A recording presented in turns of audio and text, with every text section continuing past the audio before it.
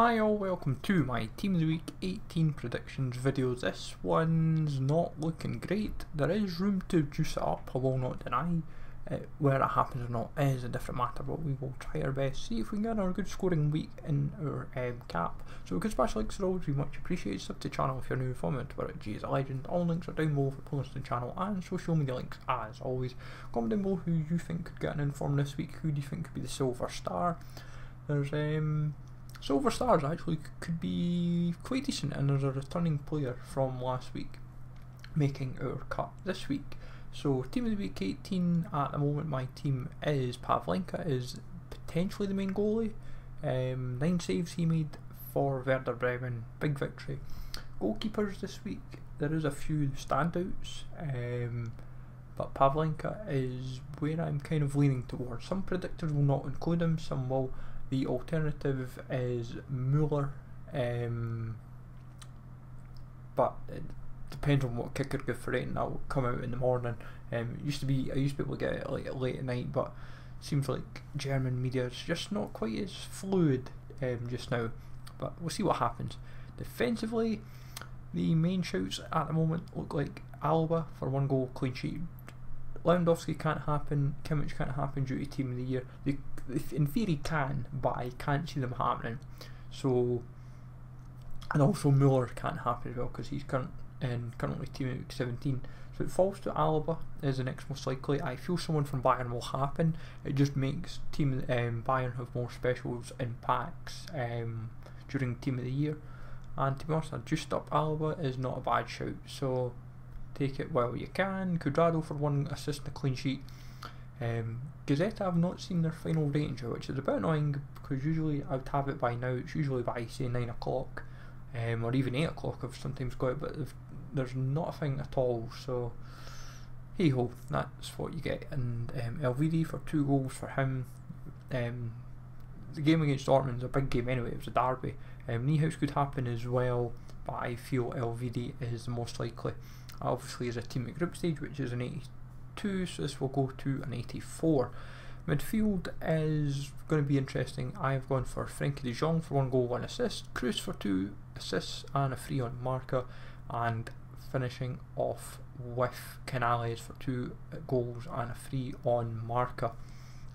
Uh, Marca, I know they don't rely on too much, but I still like to rely on it nonetheless. It gives me a good guide with uh, Betis, especially with Canales. It could be hit. Fekir is the alternative. He only got a two, so that's kind of why I went Canales. Touching on Real Madrid, um, Benzema two goals, and he got three on Marca, and same for um, Modric in the game. But Hazard was one goal, one assist, but only on one on Marca. People will be like, "Gee, where's Hazard? You know, you don't know nothing." When you get one on Marca, you must have been awful. You you don't get one um, without a reason. So that's why we have gone for Kroos for two assists. And sometimes, usually, whoever the official La Liga man of the match sometimes swings it as well. Uh, midfield and um, final kind of like midfield forward spot is Diaby, one goal, one assist, and a 1.5 on kicker. Usually, it's hard to ignore. Um, in all honesty, yes, he has a road to the final, but the inform would be below that. So his base is 81, his inform goes to 84. But I suppose we will see in due course. Three other forwards um, three, four other forwards that have potential um, informs inbound is Kramaric for two goals and a 1.5 on kicker. Andre Silva for two goals. Um, his inform was about like team of the week 13, but I still feel it's him or Kostic will happen. I've just went for Andre Silva just for um, swing, um, in my opinion. Um, so Felix for one goal, one assist. So if you've got his headliners, um, you are laughing. So and I think that's the four wins as well, so or close to it. So um, we're definitely, if you're in Joao Felix, you are laughing, and a few people will probably have him in their predictions, but um, we'll see how that progresses. And Icardi for one goal, one assist. PSG is going to get an inform. Mbappe seemed the most likely. Icardi seems the next most likely player. Um, but someone from PSG is more than likely from the, the game due to the result. Subs and reserves, we start off with uh, Nick Pope, six saves, a clean sheet, and a man in the match against Liverpool. Should be pretty academic, really, for the second goalkeeper spot. Schmeichel is the other Premier League alternative for the Chelsea game. Uh, Maddison could be the likely shout from that game as well. I had him obviously last week. Um, so he could happen again, but he could happen this week. But time will tell with that game. Like Premier League needs a few options. Maddison or um, could sneak in somewhere over someone else. Um, from there we have uh, Atal even one goal on a clean sheet, so it goes in line with his road to the final. If you didn't do that SBC, you've not missed out. Niakate for uh, two goals um, should be fairly straightforward. Um, then from then Romero's a tricky one because obviously he has a 74 team the group stage card. I'm assuming this inform will be 80 rated. So I'm not 100% sure on this. This is the first situation where first time we're going to have this experience for an inform. Um, Atalanta very impressive and Romero kind of was the focal point in defence.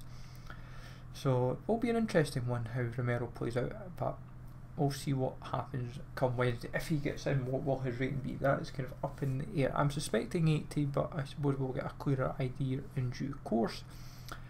Then from there, we kind of have Zaccagni for one goal, one assist. He was very impressive in the result against Napoli. Very standout performance.